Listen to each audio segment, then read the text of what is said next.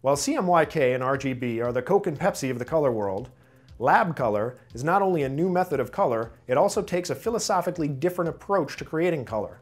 Photoshop itself draws on this mode when converting your image between RGB and CMYK. So let's talk about Lab Color. The first thing to discuss is it's not actually called Lab.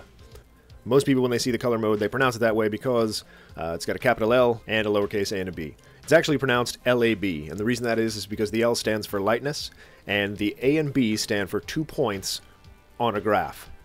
The reason that LAB color was created was because when printing out colors, or when describing colors, when creating colors on a monitor, RGB and CMYK modes are both really a set of instructions that either your monitor or a printing press then uses to reproduce a color. There's nothing in there that describes the look of the color itself. So the LAB color mode attempts to describe exactly what the color looks like so that later on we can recreate it device independently. There are a couple of interesting advantages that describing color in this way give us. The first is that we have control over the luminosity, which is the L, and the color independent from one another. So let me show you how this actually translates into an image. If we look over here, down at the bottom right, at the channels panel, you can see that I'm in RGB mode. Now this is the default mode for Photoshop. RGB is an additive mode, so each of these colors are being added together in varying degrees to create the colors that you see on the screen. What this means is that this black right here is actually a combination of red, green, and blue. If we jump back into the layers panel, and I'll switch back to RGB for the purposes of this next demonstration, Let's say we have an image like this one here, which is a little bit fuzzy. Maybe it's taken on an older camera, or maybe we just pulled it down off of the web from our Facebook after we've taken the image, and we want to clean it up a little bit. If we go into Filter and drop down to Sharpen and either Smart Sharpen or Unsharp Mask, for now I'm just going to use Smart Sharpen, we can actually decrease the amount of blur in this image. And the way we do that is just by dragging these sliders a little bit. So if we increase the amount and then we increase the radius, you can see here things are getting a little sharper the further we go. The problem with your typical RGB or CMYK color space is that Photoshop is taking the calculations from the color information itself.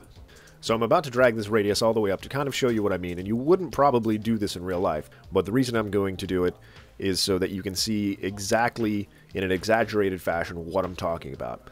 Over here, you can see that the colors start to bleed together. That becomes extremely prominent over here, where we're looking at the figure on the left, and you can see a little halo around him. I'm going to hit OK here. Then I'm going to step back and paste that sharpened image over top of our normal image. Duplicate layer 0, which is our background. And now I'm going to shut off that sharpened image and change the image mode again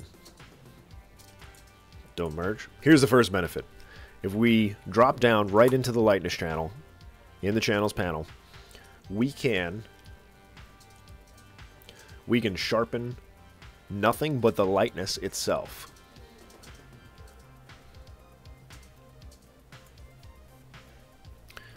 So this is going to have the exact same settings that we just applied to the RGB channel.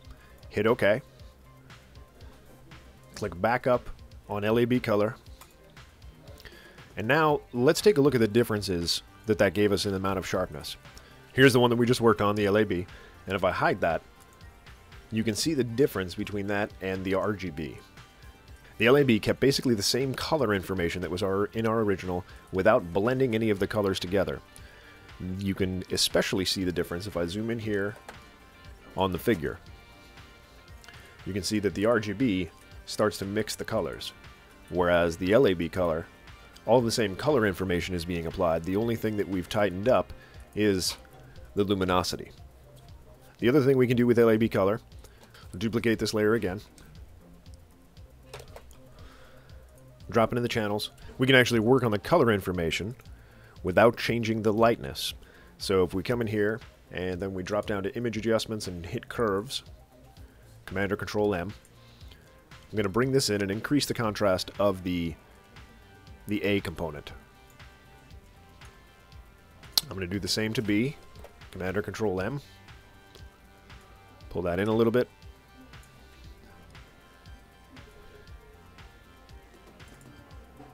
Hit OK. Go back to the overall color, and you can see this is insanely bright. These colors now really pop. If we drop the opacity on this and blend it in with the original image, we just liven up the image a little bit. On the same note, if instead of if instead of brightening the colors and bringing in the contrast, we were to lessen the contrast, it would effectively be we could effectively desaturate the colors without interfering with any of these solid blacks here. So let's go do that and take a look at what it gives us. I'm going to bring up the curves again. And again, all of this stuff I'm exaggerating just to show you what I mean. Eventually what you're going to want to do if you're messing with any sort of color correction options with LAB color is you're probably not going to want to go up this far, and maybe there are a few other things you want to do with curves. Keep in mind, experiment with your images because there's no wrong way to do it, and you never know what you're going to find through a little bit of experimentation.